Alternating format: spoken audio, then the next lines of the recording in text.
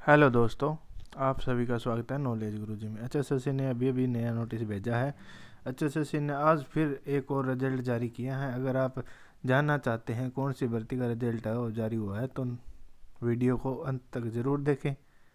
अगर चैनल पर पहली बार आए हैं तो चैनल को सब्सक्राइब करें और बेल के आइकन को प्रेस करें, ताकि इस चैनल से कोई भी नई वीडियो अपलोड हो तो नोटिफिकेशन आपके पास सबसे पहले पहुँच जाए।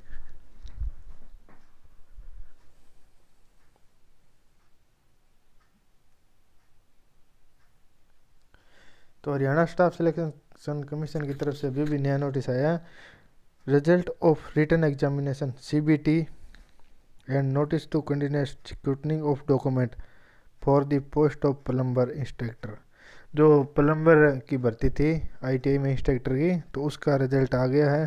कैटेगरी नंबर आपकी तेरह है एडवर्टाइज नंबर आपका बारह स्लेस दो हज़ार उन्नीस। तो आपका एग्ज़ाम हुआ था सत्रह दिसंबर 2019 को। देख सकते हैं आप।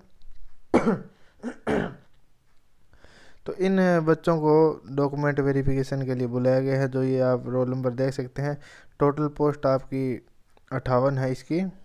तो आपका ये रिज़ल्ट जारी हुआ है। इन बच्चों को डॉक्यूमेंट वेरिफिकेशन के लिए बुलाया गया। आप देख सकते हैं। पूरे बता देता हूँ आपको डिटेल से।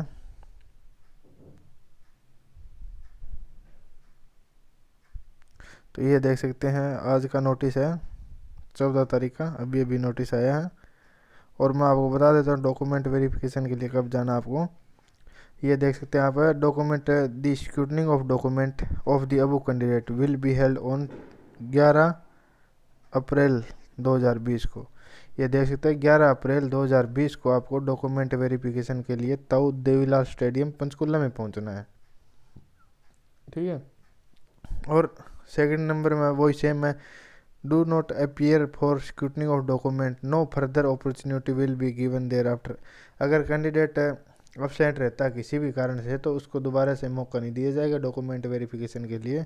तो ये, हर बार ये सेकंड लाइन में ये स्पेशली बताते हैं पूरी।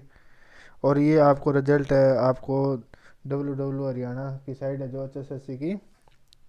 उस पर आपको देखने को मिल जाएगा। और आज का नोटिस है, ये देख सकते हैं आप। और ये नोटिस था जो आपके साथ शेयर करना था। अगर वीडियो पसंद आई हो तो लाइक करें और चैनल को सब्सक्राइब करें। धन्यवाद।